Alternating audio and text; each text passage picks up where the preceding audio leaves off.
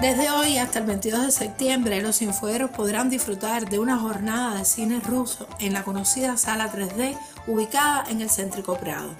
La muestra reúne cuatro filmes de diversos géneros que van desde la ciencia ficción, pasando por la comedia y el género fantástico, así como del cine negro. Las exhibiciones se realizarán de manera simultánea en las ciudades de Granma, Cienfuegos, Santiago de Cuba, Villa Clara y La Habana.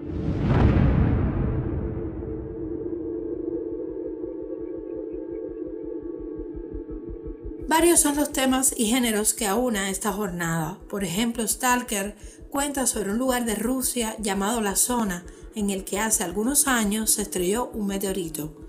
Los Stalkers se dedican a guiar a quienes se atreven a aventurarse en este inquietante paraje.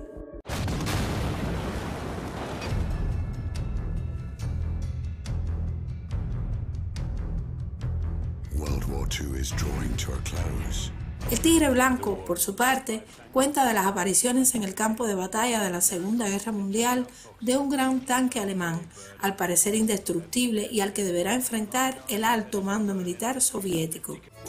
Por su parte, se alquila una casa con todos los inconvenientes, sumerge al espectador en la comedia de enredos, con una maraña de actos excéntricos, divertidos y no muy afortunados.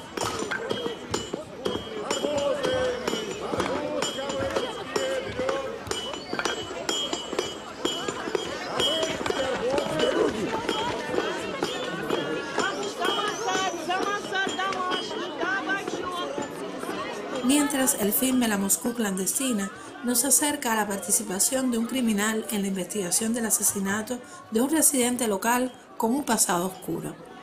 Desde hoy y hasta el 22 de septiembre, los infogueros podremos disfrutar del cine contemporáneo ruso gracias a esta muestra dedicada al centenario del estudio cinematográfico Mosfilm, fundado en Moscú en el año 1924. Ada Pérez para Notisur.